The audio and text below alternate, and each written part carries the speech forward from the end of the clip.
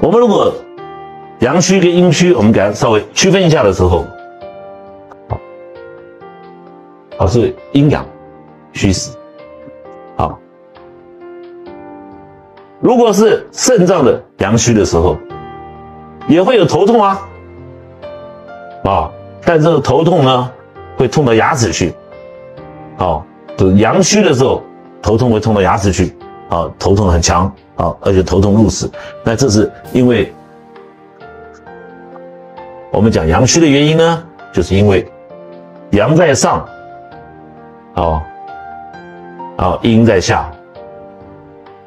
好，我们叫做上实下虚，阳在上面，阴在下面，那下面就阳虚了嘛。好，这叫阳虚。实际上阳在里面，只是阳不在，阳不在这里，阳跑上去了。好，那阴在下面，所以我们称之为阳虚。好，阳虚的发生的时间呢，好，大部分都是大吐，好吐血或者有下血，大便有出血，病人呢，好会有阳虚。阳虚的最标准的症状就是手足冰冷。啊，手脚冰冷，啊，手脚冰冷，在眼这个眼睛甚至瞳孔，对不对？所以眼睛能够看。那现在呢，阳虚掉的时候看不到东西的，全部看不到了。好，阳虚掉的时候不能见物。好，那一阳虚的话，这边是下面就是阴，对不对？阳在上面，阴在下面。那阴没有阳来控制的时候，阴是不是跑出来？肾主二便，小便就是很多。那你频尿，好频尿不能控制嘛？这个都是阳虚的现象。如果是肾脏。好，同样是肾脏，啊，如果是阴虚，像我们在阳虚的时候，这种情形就是我们才会张仲景才会出个贵妇八罗嘛。老师，你怎么知道他阴虚？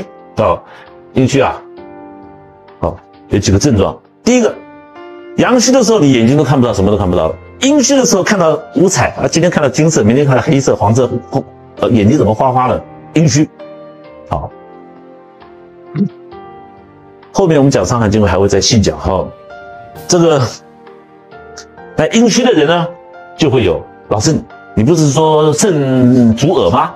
开窍的耳，所以阴虚的人呢，刚开始先耳鸣，再聋。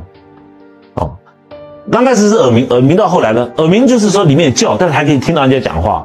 聋就是到什么什么都听不到了。哦，阴虚的现象就是这样子。好，那阴虚的时候手脚还还会是热的哦。好，阳虚的时候手脚才冰冷。好，在临床上看的时候，那因为肾主大小二便，那时候老师有时候实在记不得，有时候忙起来很忙哈，呃，记不清楚，对不对？病人问他，那个你要知道他肾阳虚还是肾阴虚，很简单，大便好不好？哦，早上一次很好，不了不下午的时候不知为什么，真的下了一个两三次，阳虚，大大便管那个肾主二便嘛，好，一天一次，阴虚讲完了，好。